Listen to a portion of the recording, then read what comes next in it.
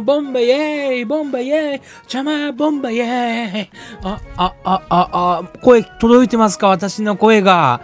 邪魔です。ウイニングイレブンの配信者の邪魔です。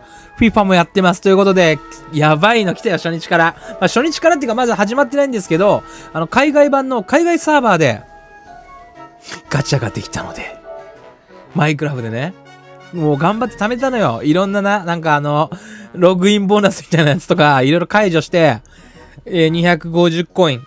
貯めて GB もね、2万5千で、3人。で、まあ、どんなものかをね、やっぱみんなにね、見せてあげたいと。ちゃま優しいね。うん。まあ、これ初戦の様子ですね。えー、5-1ぐらいで負けますね。これ、これでうまかった。これでうまかった。うまかったというか、俺が下手だったのかな。まあ、海外のね、人なんで、ちょっとボンバーもされてますが。どこだっけな。これやばいの来てるからね、ほんと。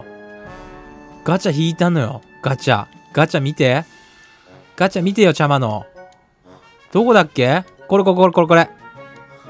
引いたのよ。で、まあ負けて、まあどっちかなと。後ろがやっぱ弱いねって。ほんとね、なんかよくわかんない選手に、ゆるいニア打たれても入ったから、これちょっとやっぱキーパー補強しなきゃいけないねっつって。キーパーガチャ、えー、GP でね、引きました。3人出てきます。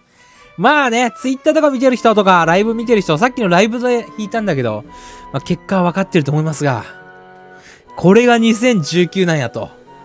これが2019なんやっていうのがね、あのー、なんだ、見れるんで ぜひ見てくださいってことで。3人来るよと。GP でね。まあ、GP もコインでもそうだっけ、そうだけど。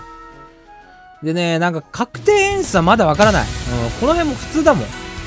この辺も普通で、これはリーグの、国籍じゃなくてリーグのね、色ですね。で、黒が来たと。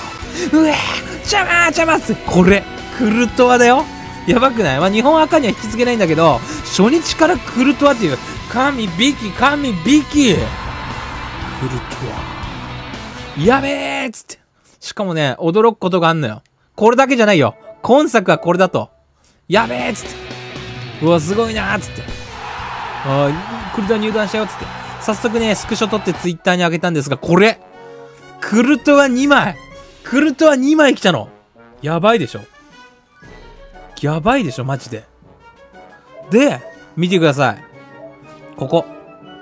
えーとね。クルトワね、それで合成させました。そう、気になるところが合成だと思うんだ。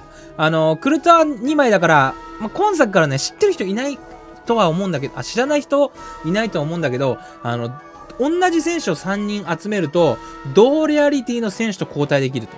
だから、クルトワは、まあ、あと1人集めれば、わかんないけど、誰、どういう条件であ、あの、変えられるのかわかんないんだけど、まあ、単純に黒だったら誰でも選べるのか、それとも黒だったら黒確定のガチャ、金だったら金確定のガチャがもらえるのかとかわかんないけど、とりあえずクルトワはでも1年間使うだろうと。まあ、このアカウント使わないんだけど。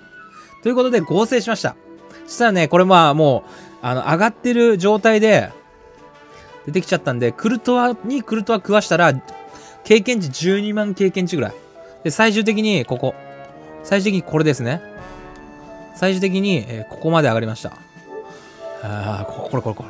14、レベル14上がって、まあ、能力値で言ったら、3とか2とか2とか2とか2。キーパーの能力。やばいよね。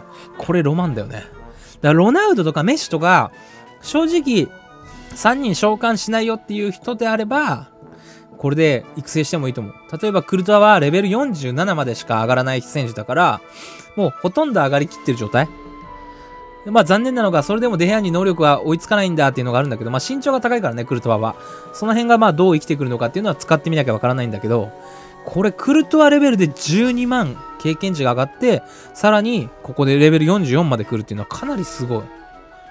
だから、もう今のところ現状ね、現状分かってる状況で考えられるのが、いらない選手が3人いたら変えましょうと。例えば、誰だろうね、わけわかんない金の選手3枚いたら、あの、応援とかと変えられる可能性があるみたいな。応援とか、あと誰だ？あとは、えー、っと、パパスタスは黒か。クリバリも黒だっけ？えー、ブアランは？バラン黒か。出てこないけど、有能な金っていると思うんですよ。その人と変えられる。レベルも上げれるし、みたいなのがあるから、これはもうぜひね、いらない選手だったら3枚、2枚集まった状態だとね、まあ、1枚だったらわざわざ集めるっていうのもよりは選手を強化した方が、1枚トレーニングコーチにして別の選手に強化した方がいいシチュエーションもあると思うんですけど、基本的には、いらない選手だったら交代、いる選手だったら、あの、その選手同士を食わして育てるっていうことをやれば、ここまでレベルが上がるよと。ザ2019でしたね。ザ2019。これはやばい。まあ、クルトワの紙引きもそうだし、正直クルトワクロス、クロスじゃない、クラスを合成させるってどうなのみたいな。まあ、クルトワだったらまあ、残すからね、いいと思うんだけど、黒同士、同じ選手同士合成したらどうなるのっていうのを、迷う人もいると思うんで、この動画ね、ぜひ参考にしてくださいということで。なんかもう知らないことがいっぱいでワクワクしますね、2019。あと何時間？今8時だから4時間ですよ。ちょっとシャマー仮眠して、0時からスタートしようと思います。皆さんも朝までウイで楽しみましょう。最後までご視聴いただきましてありがとうございました。コメント、チャンネル登録よろしくお願いいたします。さようなら。パー